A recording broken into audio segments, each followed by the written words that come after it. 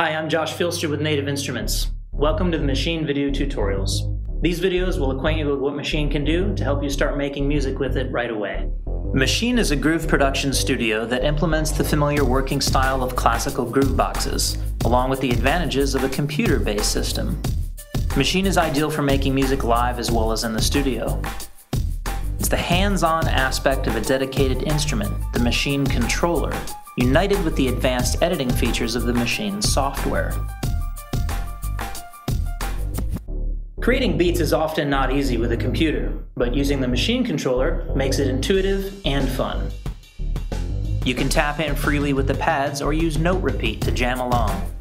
Alternatively, build your beats using the step sequencer just as in classic drum machines. Patterns can be intuitively combined and rearranged on the fly to form larger ideas. You can also try out several different versions of a song without ever having to stop the music.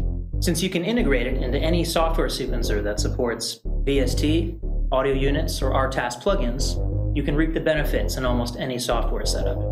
Or you can run Maschine on its own as a standalone application. You can sample your own material, slice loops, and rearrange them easily.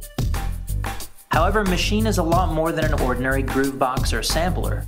It comes with an inspiring 5GB library containing over 250 kits and 14,000 samples, and a sophisticated yet easy to use tag based browser to give you instant access to the sounds that you're looking for. What's more, Maschine gives you lots of options for manipulating your sounds via internal effects and other sound shaping possibilities. Each of Maschine's sounds can take advantage of 20 different effects that can be easily automated in real time. You can also route and manipulate external audio signals through Maschine for live performance possibilities. You can control your external MIDI hardware and other software as well with the Maschine controller, and customize the pads, knobs, and buttons to your needs. This is possible at the same time you are using the standalone version or the plugin.